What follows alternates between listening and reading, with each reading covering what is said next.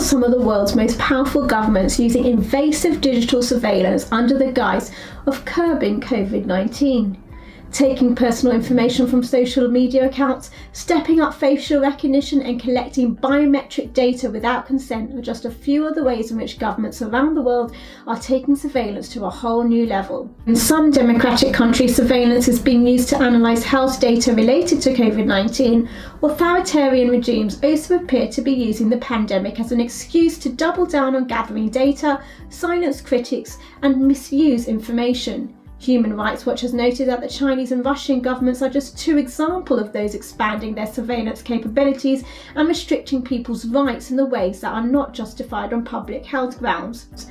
The unprecedented nature of COVID 19 has opened up an opportunity for these governments to enforce more stringent measures in order to obtain information that tracks and monitors people's movements, apparently to assess the effectiveness of health interventions.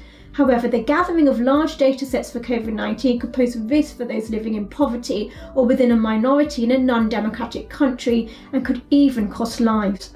Censorship in countries such as China, which does not want anyone to criticise the government's response to the pandemic, is already well established. It has been reported that there was censorship of reports on the coronavirus when it first broke out in Wuhan at the end of November last year. Despite the efforts of Chinese journalists to get the information out, they were silenced by the Chinese Communist Party and subsequently reprimanded and put in jail. A doctor who wanted to warn people about the virus consequently died from it.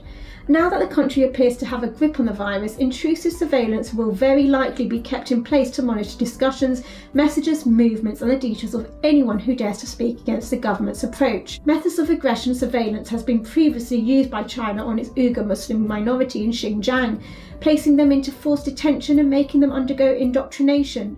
This does not bode well for those concerned that intensified methods could put more people at risk of such actions over the coronavirus.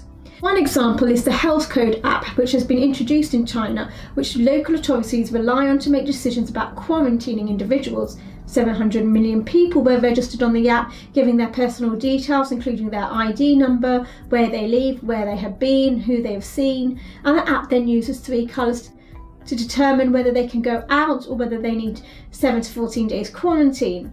However, the questions asked via the app are not effective enough to get an accurate diagnosis. China is not the only country that has been intensifying surveillance. Russia currently has 100,000 facial recognition cameras which it alleged to keep track of individuals who have, been, who have been ordered to quarantine for 14 days.